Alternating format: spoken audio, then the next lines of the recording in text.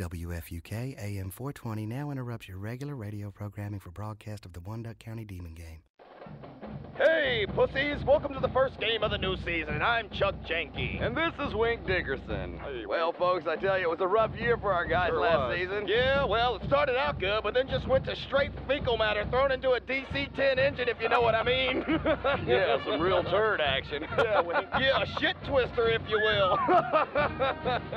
Yeah, I heard Danny Boone had stomach surgery. Apparently his liver fell out in his Warner Robins home.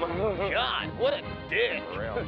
yeah, Brooks Buford ended up in the ER with a hole in his nose. Yeah, and we all know what that was We from. sure. God, what an asshole. Who does he think he is? Darryl Strawberry? Jeez Louise. Yeah, he's a little Robert Downey Jr.